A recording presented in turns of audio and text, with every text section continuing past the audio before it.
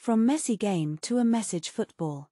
I remember the football match between Nigeria and Brazil in Atlanta in 1996. Brazil was the king of global football, and they knew it. So, Nigeria losing to Brazil that night would not be a big deal. Until around the 77th minute, about 12 minutes to the end of the game, Brazil was obviously dominating the game. The scoreline was Brazil 3, Nigeria 1.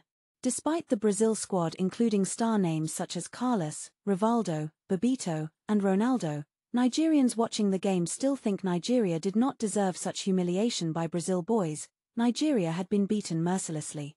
Nigerians became angry toward the end of the match, many had turned off their television sets and walked away. While few hoped and prayed that Nigeria would not be further disgraced with yet another goal. But the unimaginable happened in the game. At about the 78th minute, Victor Ikpeba stroked from 20 meters to score the second goal. Everything changed beyond the 3-2 score line. Pressure came upon Brazil. And hope for the Nigerian players, they became more motivated and began to fire shots from every angle.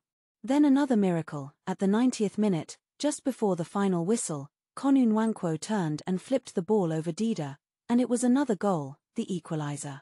What a wonderful match! And there was a rule then, the golden goal. The first to score in the extra time wins the game.